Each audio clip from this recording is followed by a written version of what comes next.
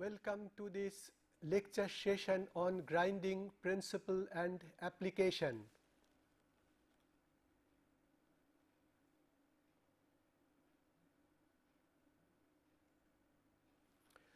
Grinding can be considered as a multi-point cutting operation very similar to any machining operation. In this case, abrasive grits in large number suitably bonded with a binding agent and in the form of a wheel actually does the function of a grinding. Here we can see these grits which are the abrasive particles bonded in this cementing medium and it is removing the work material in the form of fine layers in the step by step mode. So, this wheel is imparted with certain velocity and at the same time the workpiece also moved or advanced towards the grit and as a result of that we have the cutting action. So, these are the two examples of grinding where the material is being removed from the surface, it is a surface grinding and this is also another example of surface grinding involving small wheel. Now, if we look to the basic objective of machining, on one side we like to have material removal rate and on the other side the machining accuracy. So, there are various processes which can give material removal rate or machining accuracy. Now, so far as grinding is concerned, we have different types of application of grinding. According to that old concept, if we go back to this diagram, we can see that the basic purpose according to this concept is to achieve machining accuracy, good finish which are not achievable by just ordinary machining by some cutting tool and their grinding has to be used. And also there are cases where the work material is extremely hard and it is not possible for the single point cutting tool to have the cutting action on this hardened material or inherently hard material. So, in those cases grinding is the only option. But according to the new concept what we can see here that it should be possible to have high stock removal in just single pass. Conventional grinding needs multi-pass operation, but what people like to achieve is single pass operation thus transforming grinding to a abrasive machining or what we can call abrasive milling. Then the second objective according to this recent concept is to also to extend this abrasive milling not only to hardened material, but also to unhardened and ductile material.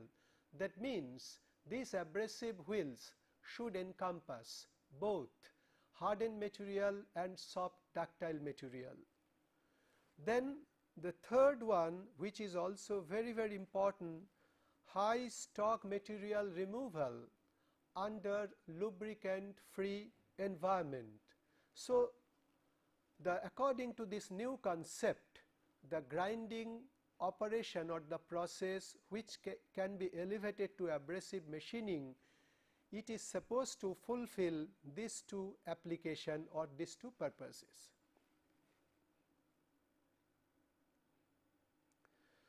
How do we characterize this grinding? How does it differ from conventional machining? Number one, what can be immediately recognized very high velocity of this grinding wheel compared to any cutting tool which is being used for usual machining application. Then Another thing which is also immediately can be recognized variation in the geometry basic geometry of these cutting points which are nothing but those abrasive grains. These are working like the multi-point cutting tools. That means this is not fixed when whereas in any, any cutting tool this is well defined. So, there is also random orientation of the grits giving unknown tool geometry or rake angle. And as we have already mentioned it needs high velocity that means strain rate is also high, specific energy is also high which leads to high grinding temperature gradient. So, these are in summary the basic characteristics of this grinding or abrasive machining.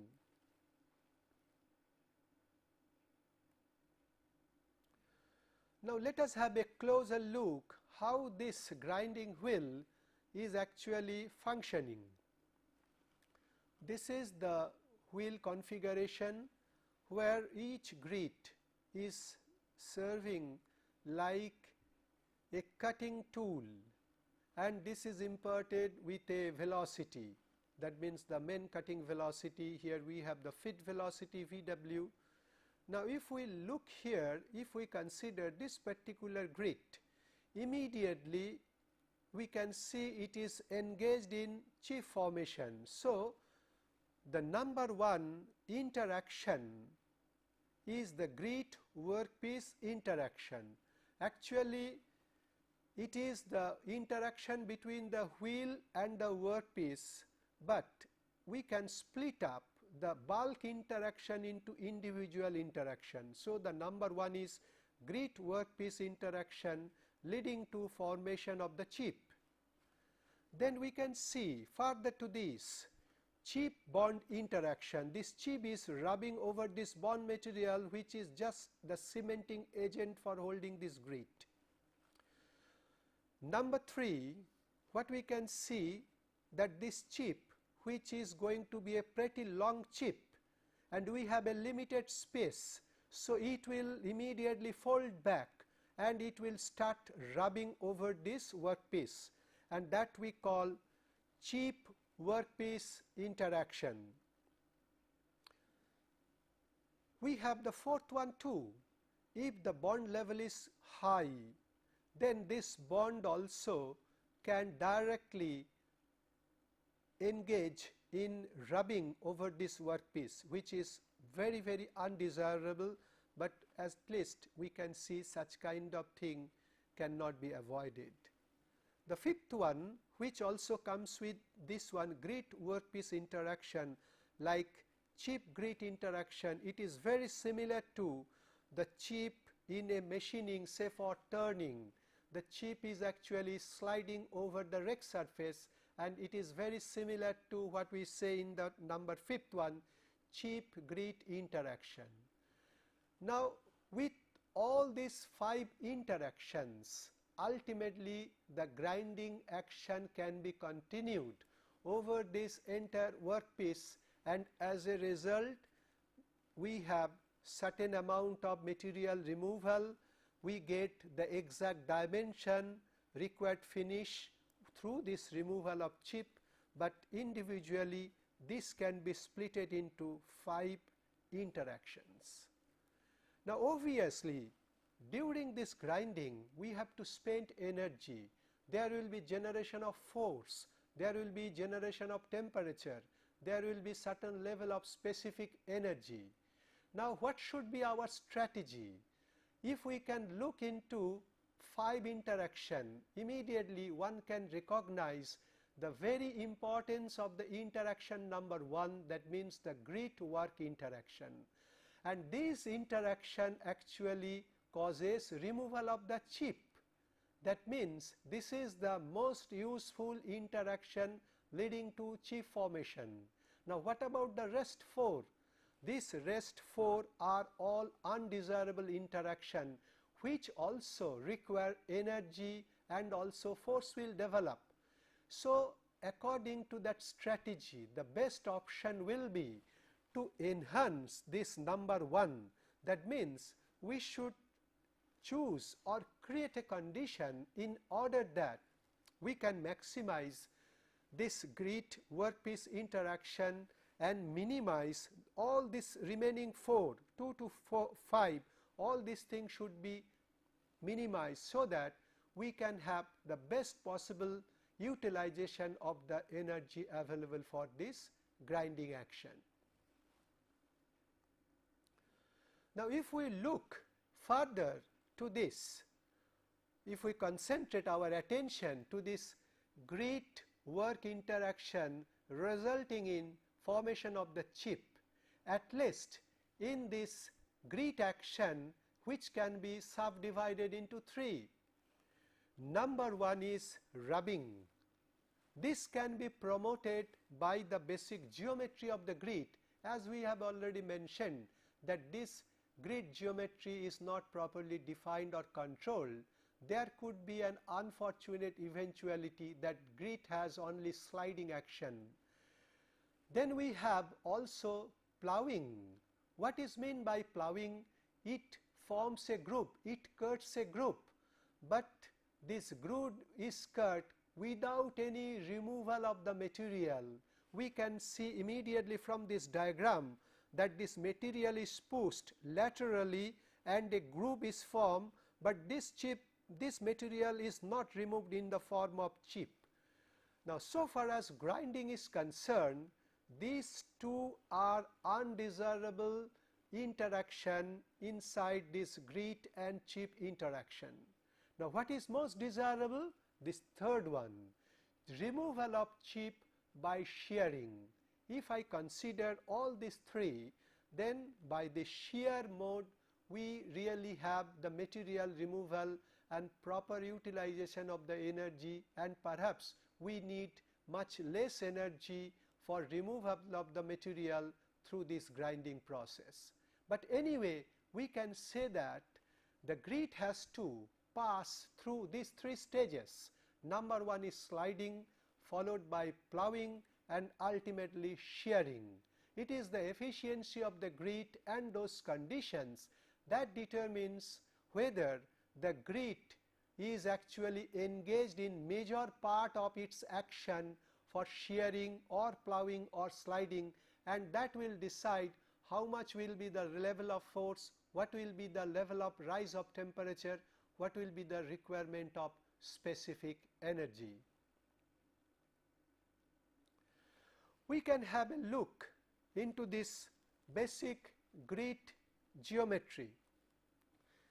In this basic grit geometry, we can see here a positive rake, a positive rake and also we can see another grit with a negative rake. Obviously, this positive rake is most desirable which can reduce chip reduction coefficient, thickness of the chip after grinding, less deformation, less energy spent and also low rise of temperature. So, that means this is most favored, but in grinding we cannot control the basic geometry of the grits which is random in nature. So, we have no option, but also to accept this one, but with the clear understanding here rise of force temperature will be quite high compared to what we can see here. Now, we like to also have our attention to this grinding zone just it cannot be ignored. What is very very different which makes this grinding different from the cutting action of a single point tool. Here actually chip is engaged in the grit is engaged in chip formation which we can see this grit is actually creating this chip through this cutting action now, where this chip should go? This chip cannot leave this place. It is confined. Where it is confined? Between these two grits. The one the grit which has already done some grinding, the one which is presently engaged, then you have bond material on this top and the work workpiece this contact area. That means, the chip material which is being continuously produced that is confined here and the skill how with what ease the chip can be accommodated within this storage volume available before it the, the grit comes here and the chip is thrown out that will decide also the performance of the grinding wheel. What we mean to say here that it is just not the strength of the grit, its thermal stability or hot hardness or its sharpness or the favorable rake geometry. It also to be considered the chip storage with what is the chip can be stored within this space before the grit comes out of this contact zone and this chip is thrown out that will also determine the uh, final outcome or the ultimate performance of the grinding wheel. We can have the best possible bond or the best possible grit, but because of this shortage of space, this wheel can also have premature withdrawal or premature loss of life.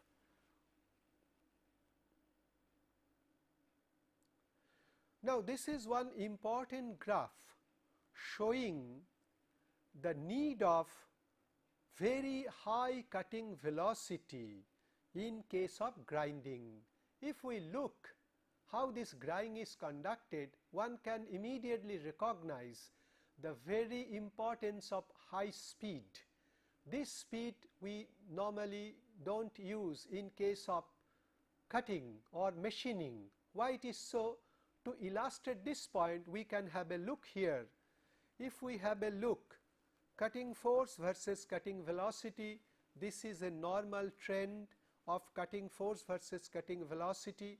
That means the force comes down with increase of cutting velocity. So, that is one point in favor of cutting velocity. Now, we have two curve, one this one shows for a tool with positive rake angle and the upper one with negative rake. Now, for one cutting speed we can see the tool with negative rake generates high cutting force. Now, what happens? In case of grinding we have just now seen that most of the grits can have negative grit geometry that means very very odd situation. Now, to neutralize to offset this um, odd situation to our advantage or to our favor, what we have to do? We have to increase the cutting velocity so that even with this negative rake, we can reduce the cutting force to our advantage and to achieve that one we have to go for excessively high speed and at the same time we can also see that the effect of positive rake or negative rake that narrows as we increase the speed. So, if we consider these two points for the same level of cutting force, if we choose one grit with a positive rake, we can work with this velocity, but if we have another grit with a high negative rake angle, we have no option but to go for a higher cutting speed. So, that we can keep the force level at the same magnitude. So, this is one reason why we should always opt for high velocity in case of grinding.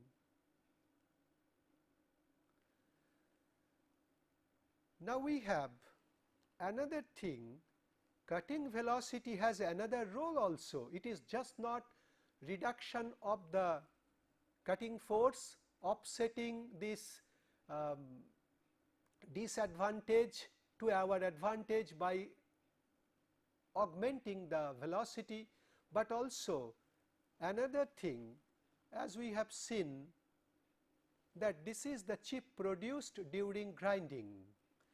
Now, the chip the grit starts its action and it leaves here the grinding action is terminated here.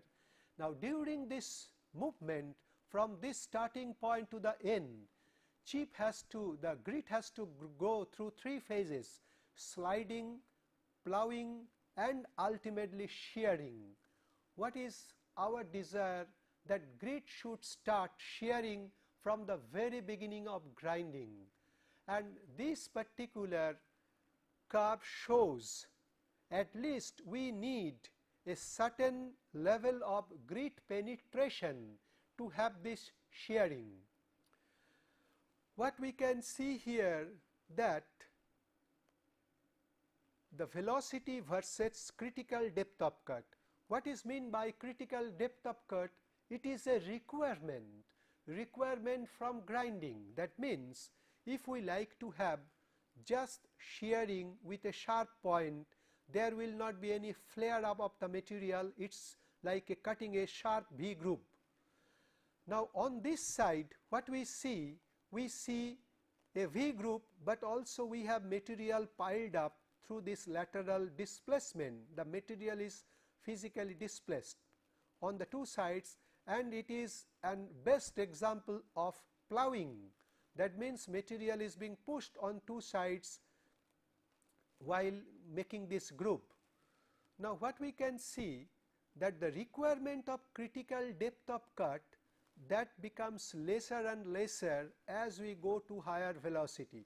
For example, if this is our chosen velocity, then if I reach this point, that point corresponds to this is the minimum depth of grit, grit penetration that is necessary to have such groove cut. That means, to have this shearing action, we need minimum this grit depth of cut. If we have something less than this, we end up with such situation we cannot avoid this material piled up on this. If we like to have critical depth of cut still less, suppose here, then we have to reach to this graph and find out that velocity has to be augmented. So, from this diagram showing a correlation between cutting velocity and critical depth of cut, we can immediately see that the critical depth of cut can be reduced, requirement can be reduced by simply augmenting the cutting velocity. Actually what happens here the inner mechanism is like this. We know a hardened in a hardened material penetration is will be easier there will be less ploughing action. So, immediately the grit goes immediately goes into the shearing mode. So, the sliding and the ploughing will be less compared to the shearing action of the grit. So, hardness of the workpiece definitely playing an important role in deciding what is the requirement. So, what we are doing here, what is done just by increasing the speed, we get some improvement in the dynamic hardness. It, we can call it a dynamic hardness which can be induced during the high speed operation as if the wheel gives some impact with that high velocity and thereby its penetration becomes easier, it goes straight to the shearing action without spending much of its time for sliding or ploughing. We can see immediately the effect of grit depth of cut versus force on this rubbing, ploughing and shearing. Here it is grit depth of cut.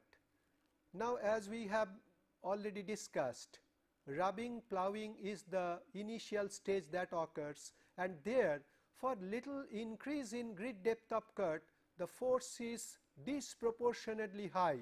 We can see little increase in depth of cut and we have large increase of the force.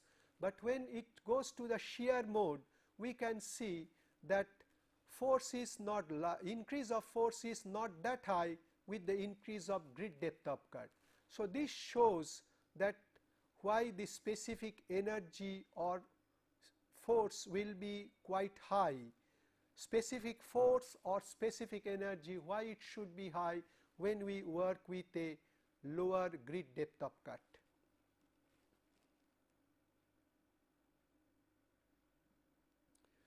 This is another illustration which also shows that during grinding the situation may also change.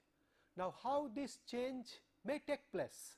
Let us have a look here that originally this was the shape of the grit and this gamma 1 that shows the original rake angle which is of course quite negative and it has a high negative value.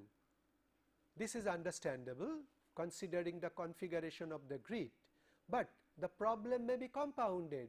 How?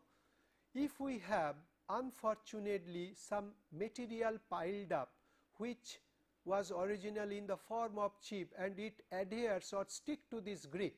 Now, we can see if we consider this tangent and this normal line then we can see that gamma 1 now it has become to gamma 2 and the value of gamma 2 is quite high it is obvious that this is higher compared to this one that means through this sticking this effective rake angle has increased and this increased is has taken place in a negative sense. That means, such kind of grit is expected to increase the force. So, augment of the force which is not at all favorable, not at all desirable, it happens because of the undesirable change in the grit geometry during grinding because of this material built up at the tip of the grit. There are certain materials where such situation we may have to come across. So, we are going into another aspect of grinding as we have mentioned that it is just not grit action on the work material leading to chip formation. It is also how the chip can be accommodated within this chip storage space. If we look into these two grits, then we have this bond material and this is the border of the workpiece. So, this is actually the available chip storage space. This chip storage space will provide the necessary storehouse for accommodating this chip. Now, here two things are very very important. The uncut chip thickness, this is the uncut chip thickness which starts with 0 and assume the highest value when the grit is about to lift the workpiece. Now, this is one thing which is equated by this relation and here the table speed, wheel speed, the grit spacing, wheel depth of cut and the wheel diameter they are playing their role and we can immediately see the role of this VC. If we increase this VC quite high, then we can reduce the value of AM and immediately the load on each grit can be reduced substantially and that helps in improving the performance of the individual grit. There is another parameter length of the undeformed chip which actually is a function direct function of the wheel depth of cut and diameter of the wheel.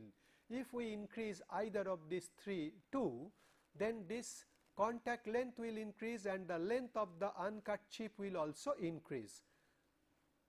So, these are the two parameters important uh, which should be considered during grinding. Now, here the volume of the chip to be considered because this volume of chip removed by grit each grit that has to be accommodated into that chip storage space and this volume with some simplification we can equate correlate by this half into chip maximum chip thickness into this length of the undeformed chip. Here we have two possibilities either we have a grit like a it looks like a pyramidal section or a grit which has like a chisel edge both can have such geometry and accordingly the shape of the chip may little differ, but more or less we can consider this as the chip volume to be handled by the chip storage space.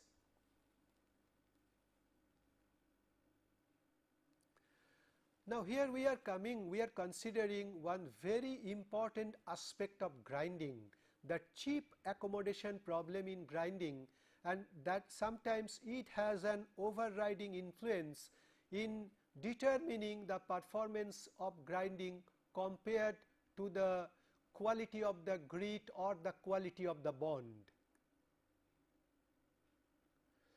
Now, we can draw one analogy of this chip accommodation of the grinding with that of a broaching tool. It is a very good analogy. Suppose this is a broaching tool and each cutting edge or the tooth is participating in removing successive layer as illustrated in this figure. Now, this is the length of the work and as each this edge is yet to start action and it has just completed action and the rest three are in their intermediate position. If we see this particular tooth, here we can see this is the available space. Now, this length cannot be accommodated just in a very simple manner. This chip has to fold back and this folding back will take place like a coiled spring with some radius and it is with what ease the chip can be accommodated that decide that force. It is just not the force arising out of the chip formation, but also chip uh, uh, force is arising out of all other interaction. That means, if this chip is little constrained or compressed or squeezed, then the total force may increase and exactly that happens in case of grinding. If we look here that this are the grit material we have this chip volume storage volume which is used for storing this chip. Now, here this grit has just completed the grinding action this one is in, in it is in, in intermediate position and the third one is yet to start. So, this yellow color shows the volume of the chip which is to be removed. Now, during its path, its movement from this point to this one, this volume has to be accommodated here. So, at least what we can say this volume should be equal or greater than this volume of the chip. So, while designing this wheel, one has to consider the chip storage space considering the volume of the material being removed by each grit and which is a function of this thickness of the uncut layer and this contact length which has been illustrated here. So, this is one of the constraint.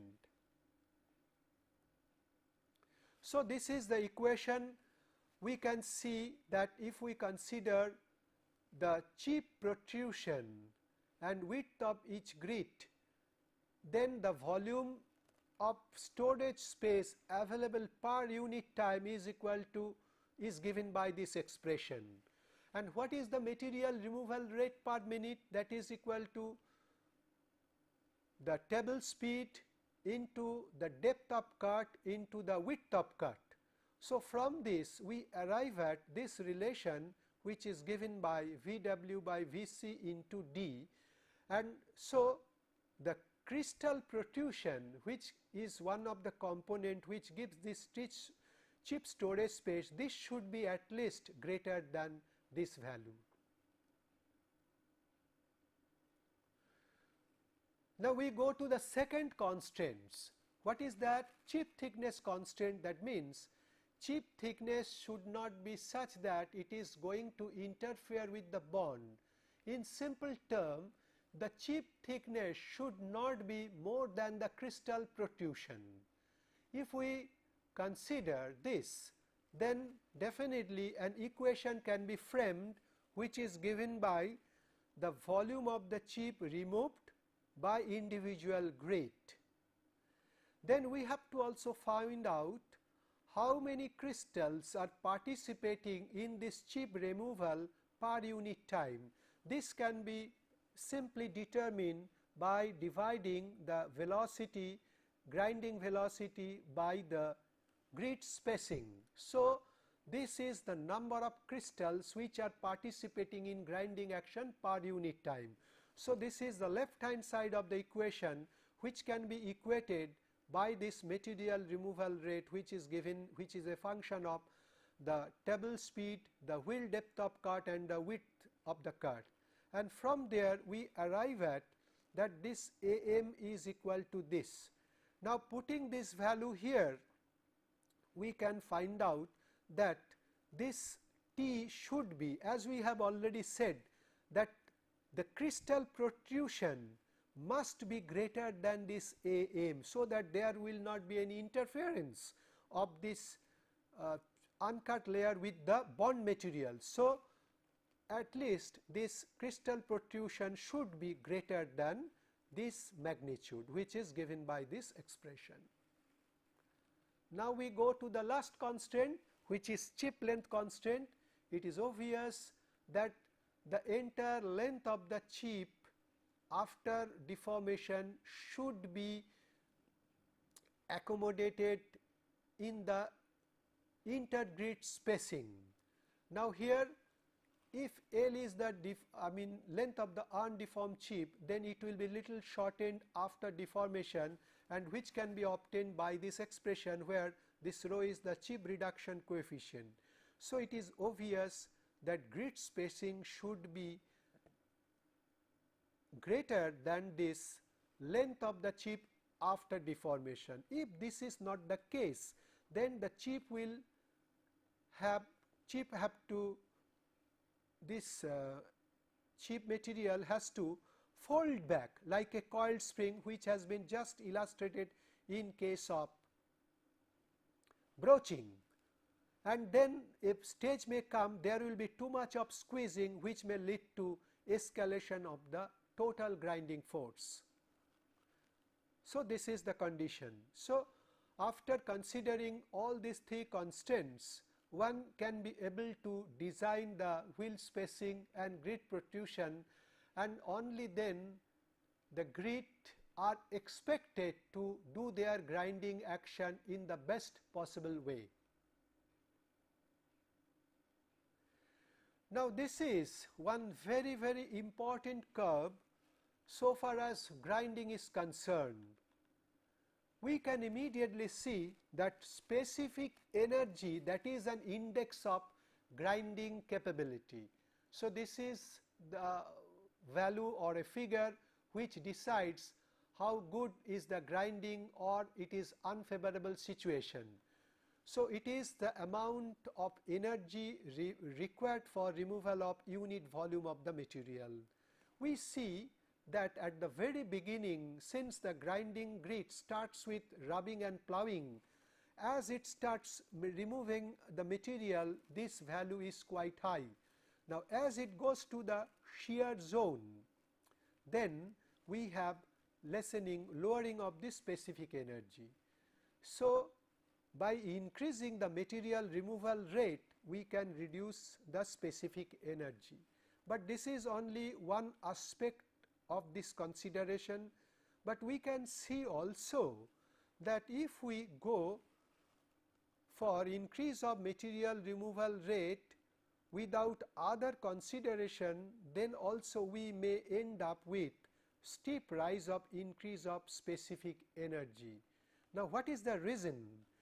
This part comes from the geometry of the crystal, basic geometry of the crystal, its penetratability into the workpiece, then the ductility of the material, loop stiffness of the grinding system, all these things decide the rubbing stage, ploughing stage and ultimately shearing stage.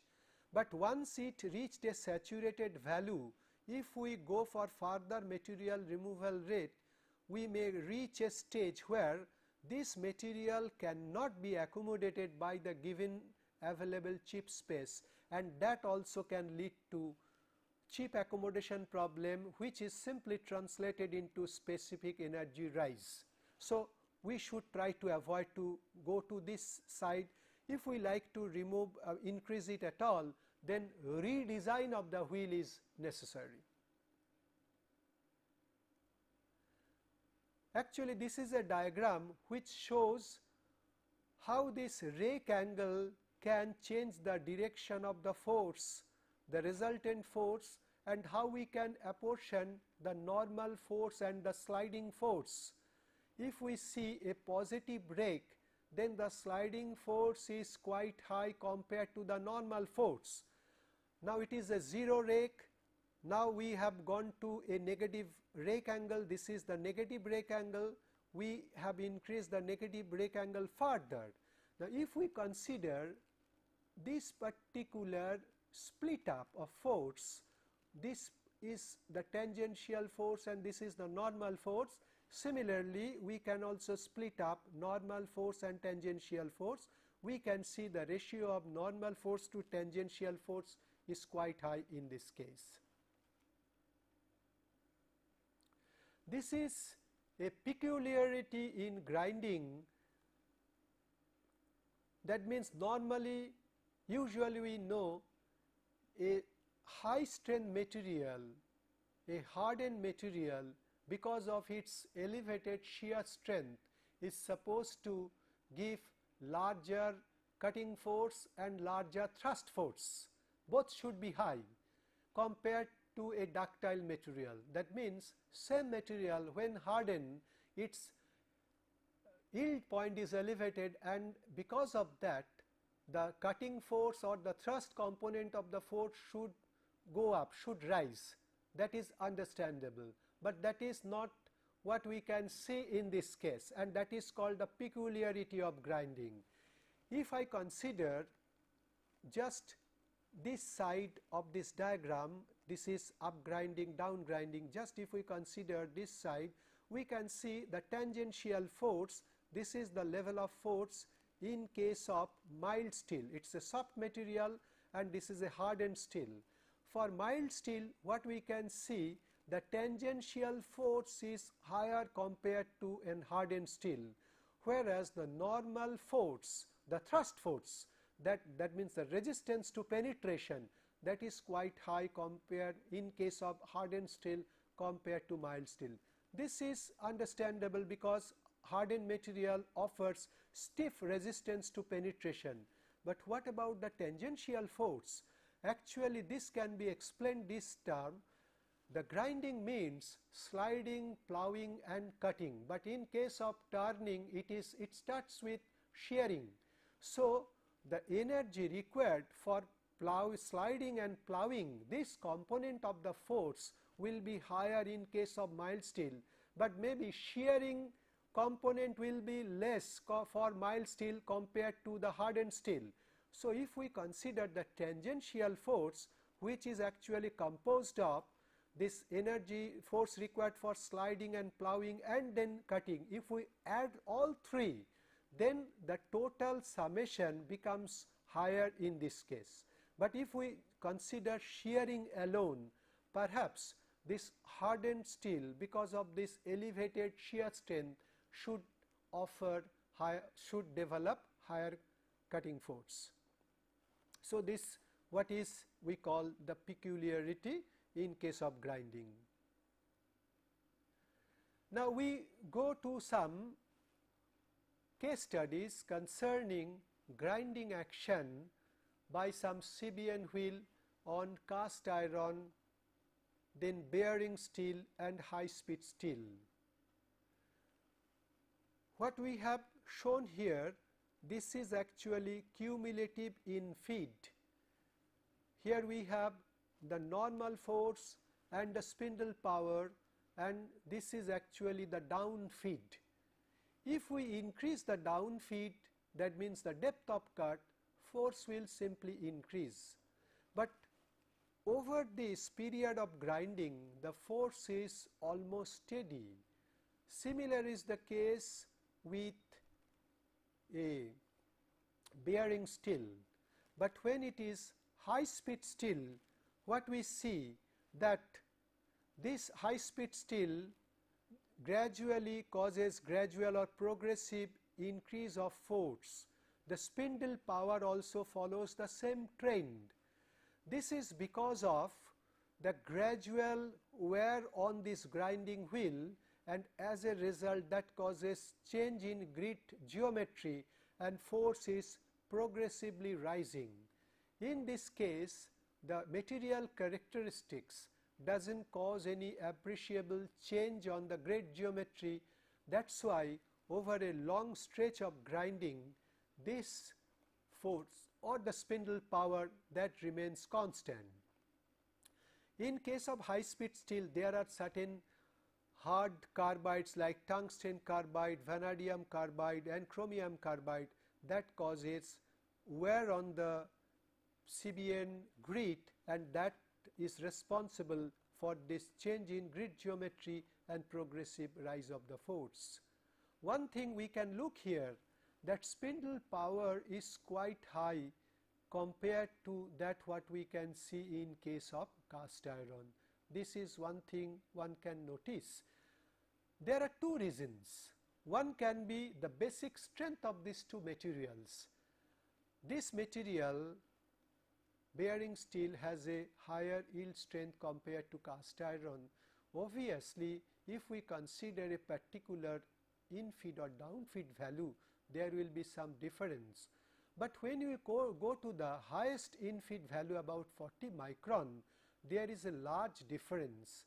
Now, this difference is not just because of this difference in strength and the force requirement. We have another reason and this reason comes from the chip accommodation problem. If we look into the types of chip produced during cutting of cast iron and this unhardened bearing steel, immediately we get the answer. This is a low mag high magnification photo 50 micron and this is just 1 millimeter. One can immediately recognize the size of the chip. This is a quite long chip and this was a face grinding with a cup wheel. So, over that contact length a large volume of chip can be produced whose length is quite high compared to this. Now, this chip volume has to be accommodated over the chip accommodation space which has been already illustrated in the earlier section of this lecture in the diagram and it is obvious that the difficulty will arise in accommodating this large volume of the chip which is like a ribbon. If it is fragmented accommodation is easier. What I mean to say if we have a given volume then chip accommodation is easier with a short chip or fragmented chip than with a long ribbon like chip and that is actually translated into this high rise of this spindle power. Now, we consider two wheels. The difference is here that one wheel is made with larger grit size which gives larger grit protrusion and wide spacing, the another with smaller grit size small grit protrusion and smaller grit spacing which is illustrated here. So, these are the two wheels the size it is 250 micron and it is about 126 micron. So, these are the two grits which were used to prepare to single layered wheel and these two wheels were engaged in grinding.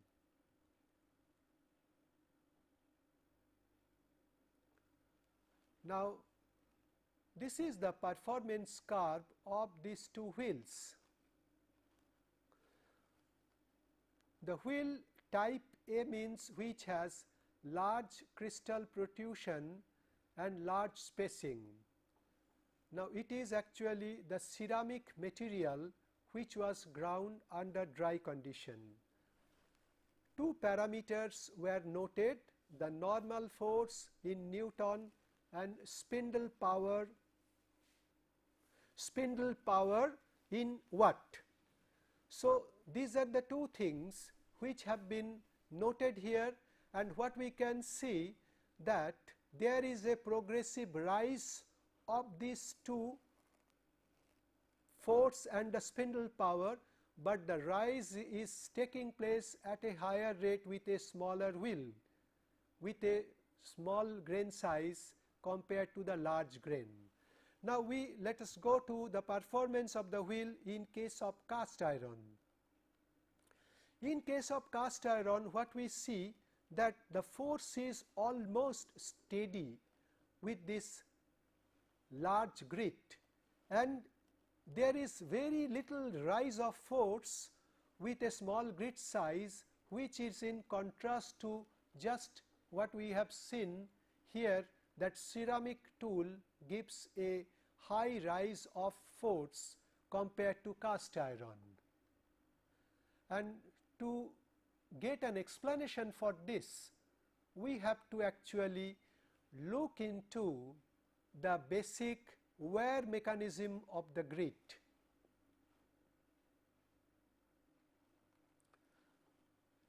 These are the actually type of chips which are produced for cast iron although they are fragmented chip, but there was they were heavily deformed and compared to the ceramic chip which is almost like grit, it is a gritty material fragmented it is mostly by fracture, but here it is deformation and then fracture.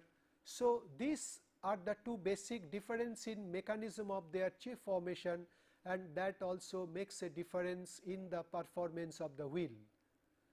Now, in case of cast iron, we can see that these crystals, the photo shows the crystal structure after grinding, we can see multifaceted appearance. It is typical of microfracturing of the grit.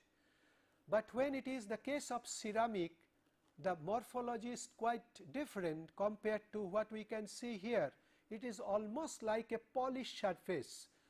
That means, the ceramic material while being ground causes also abrasion heavy abrasion over this diamond surface making it a flat and this wear flat grew gradually over a period of grinding and grit geometry was continuously changing. As a result, the gradual rise of force with passage of grinding was inevitable.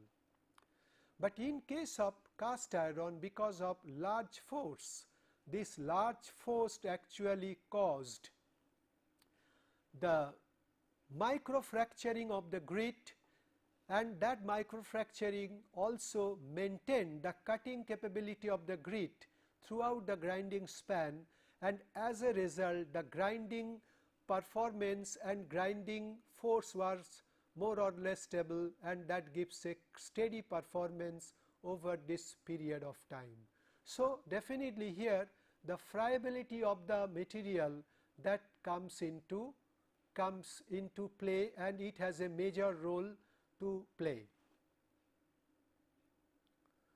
Now, we go to the to a to an illustration what can happen if we do not provide adequate chip space. This is one example where this crystal has a very high level of protrusion, but it is a highly dense packed so, what happens during grinding of unhardened material, this chip actually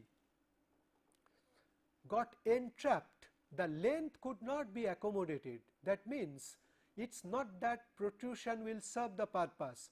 Along with the protrusion, we have to also provide a reasonable grit space to allow, allow easy movement of that long chip and this is what we can understand from this illustration. So, this is one example how this grinding force may change with cutting velocity. At higher velocity we have lesser grinding force and also transverse roughness this is almost independent of the velocity. This is grinding force versus the table speed.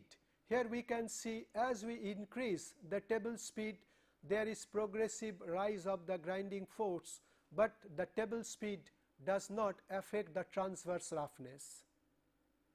We go to this next illustration which shows variation of this in feed or down feed and the grinding force. Here also the force is progressively increased, but surface roughness is not that affected by this depth of cut.